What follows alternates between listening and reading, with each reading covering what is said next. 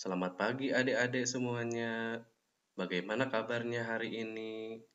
Mudah-mudahan hari ini kabarnya baik semua ya. Baik adik-adik, hari ini kita akan belajar tema 1, subtema 1, pembelajaran ke-6. Tapi sebelumnya, mari kita berdoa terlebih dahulu. Ikuti Abi ya. Bismillahirrahmanirrahim. Rabbi zidni ilma warjukani pahma. Adik-adik, di pembelajaran ke-6, ayo mengamati. Nah, di dalam gambar ini, perhatikan ya gambar ini. Ini teman teman-teman siapa? Teman-teman Siti sedang berdoa. Teman-teman Siti sebelum belajar semuanya berdoa terlebih dahulu. Ini dipimpin sama KM-nya. Nah, berdoanya sesuai dengan agama dan kepercayaannya masing-masing. Mengapa berdoa terlebih dahulu, adik-adik, supaya belajarnya bisa mampu menyerap ilmu yang diberikan oleh ibu dan bapak gurunya di sekolah. Ini ini adalah teman-teman baru Siti. Apakah yang sedang mereka lakukan? Mereka sedang berdoa. Mereka berdoa sebelum belajar. Sama ya kayak Abi juga tadi udah berdoa. Baik adik-adik, kita teruskan lagi. Ayo mencoba. Adik-adik sudah mengenal nama teman Siti. Adik-adik sudah mengenal huruf. Susunlah huruf-huruf sesuai dengan nama teman Siti. Kerjakan bersama teman-temanmu.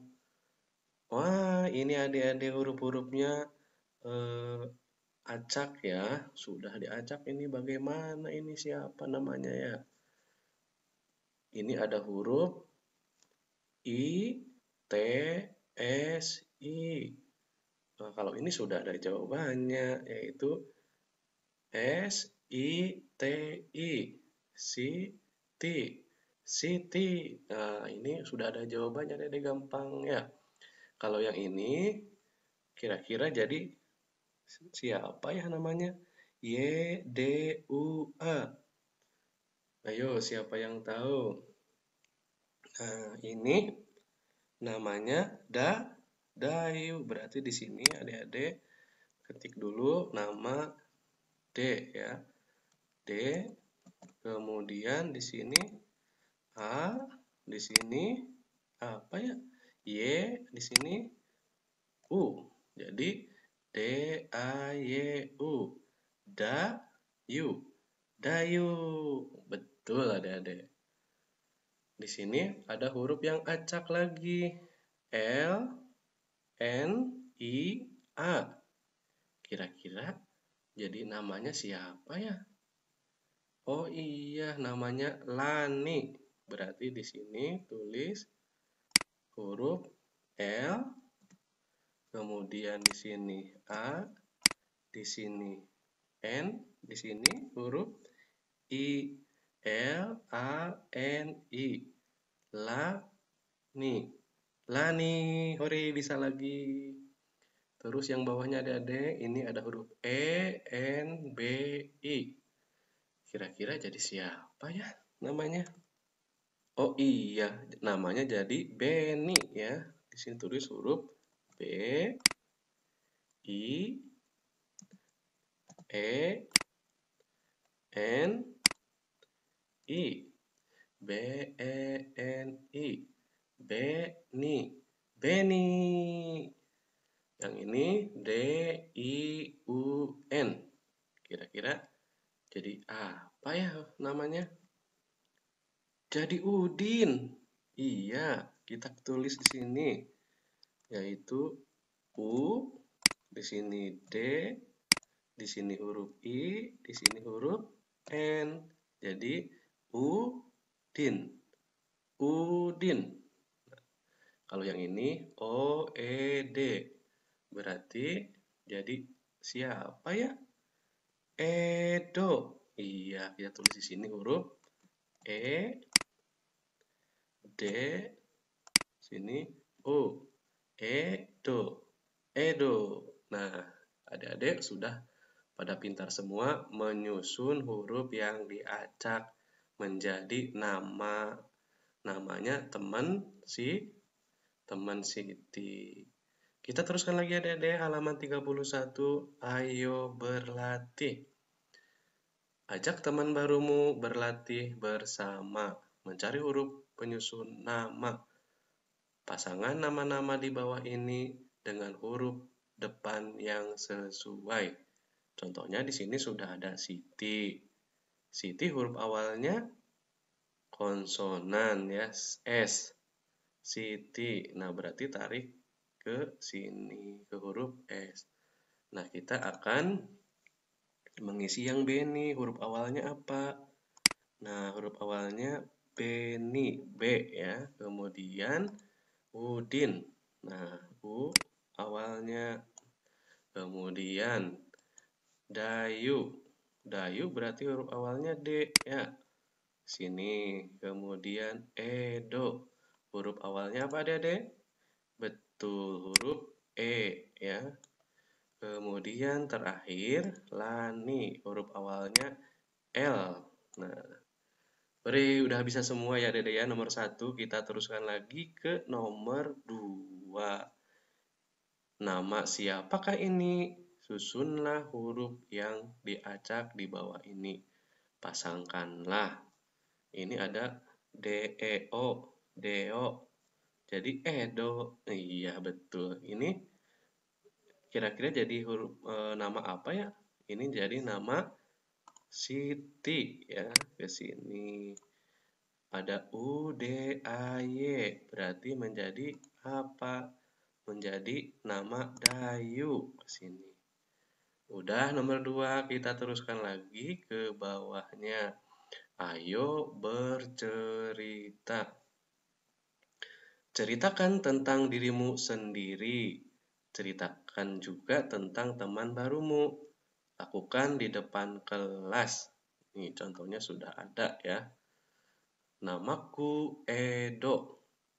Hurufnya ada tiga, yaitu E, D, O namanya Siti. Hurufnya ada empat.